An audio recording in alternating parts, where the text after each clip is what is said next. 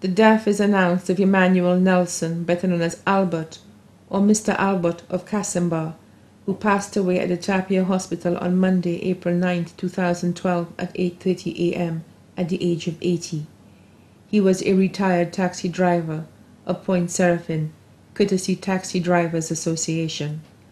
Left to mourn his wife, Alexia Nelson of Casaubon, daughter, Leonora Nelson of England, sons, Douglas Nelson and Christopher Nelson in England, Raphael Udovic of Babonneau, grandchildren, Sharon Udovic and Rael Udovic of Babonneau, Carl, Isaac, Maya, Alexis Nelson of England, brothers, Innocent Gabriel of Larissus Yefo, Nicholson Gabriel of French Guiana, sisters, Lorena Gabriel of Montjacques Choiseul, Mary Gabriel of French Guiana, adopted sister, Van Jean-Baptiste, aunts, Ada Emmanuel and family of Montjacques Choiseul, May Adonis and family of Marisule, stepmother, Rona Bisset of Bexo, goddaughter,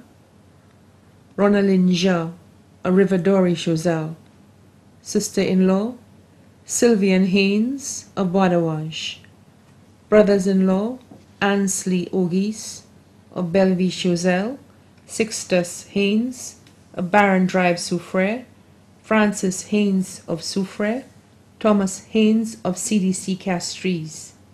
Families.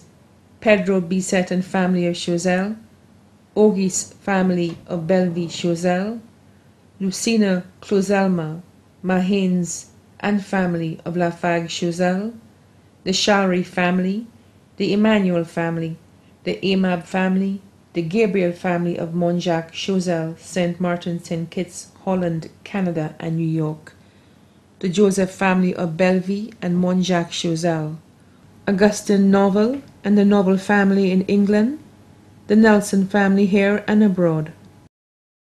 Also, members of the United Friendly Group, members of the Pointe Seraphine Courtesy Taxi Association.